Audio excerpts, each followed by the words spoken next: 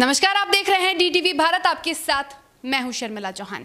आज निगरानी विभाग की टीम ने एक बड़ी छापेमारी की है, एक बड़ी कार्रवाई की है, और ये कार्रवाई किया गया है पथ निर्माण विभाग के कार्यपालक अभियंता के घर। और आपको बता दें कि सबसे पहले निगरानी विभाग ने ये छापेमारी की है, ये कार्रवाई की है पथ निर्माण विभाग के कार्यपालक अभियंता के घर में, जो कि पुनाई चक पर स्थित है। और वहाँ उस उस घर के सहित कई अन्य ठिकानों पर भी छापेमारी की गई है। और इस छापेमारी के दौरान करीब दो करोड़ छत्तीस लाख रुपए नगद बरामद किए गए हैं। और इसी के साथ दो करोड़ के जेवरात को भी निगरानी विभाग की टीम ने बरामद किया है। कई अन्य दस्तावेज़ को बरामद किया गया है, जिससे निगरानी विभाग ने जब्त किया है। बता दें कि रकम इतनी ज़्यादा है, इतनी ज़्यादा कि निगरानी विभाग की टीम को बैंक से नोट गिनने वाली मशीन बुलानी पड़ी। जरा देखिए तस्वीरें कि इतनी अधिक संख्या में रकम को कैसे गिना जा रहा है मशीन के द्वारा।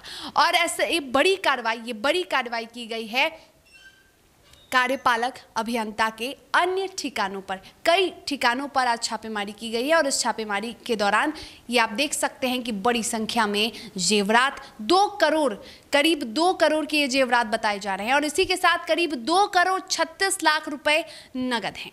हम आपको बता दें कि निगरानी विभाग ने ये छापेमारी की है क्योंकि गुप्त सूचना के आधार पर निगरानी विभाग को ये पता चला था कि जो कार्यपालक अभियंता हैं, उनके घर में बड़ी संख्या में जो नगद पैसे हैं, वो रखे हुए हैं और भी अधिक जानकारी मिली थी, जिस जानकारी के आधार पर आज निगरानी विभाग की टीम ने ये बड़ी कार्रवाई की है। हम आपको बता दें कि जो कार्यपालक अभियंता हैं, उनका स्थानांतरण, यानी उनका ट्रांसफ़र हाजीपुर में हुआ है, पुल निर्माण निगम में। और इसी के बाद आज पटना में बड़ी कार्रवाई निगरानी विभाग के द्वारा की गई है।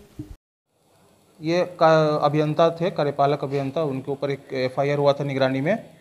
उसी का यहाँ पे हाउस सर्च चल रहा है अभी। आय से अधिक आय से अधिक संपत्ति का मामला है ये। अभी तक कितने कैश के बरामद अभी साठ लाख से ज़्यादा का हो रहा काउंटिंग चल रहा है काउंटिंग चल रहा है अभी कोई हम्म, मशीन के लिए बोला जा चुका है ठीक।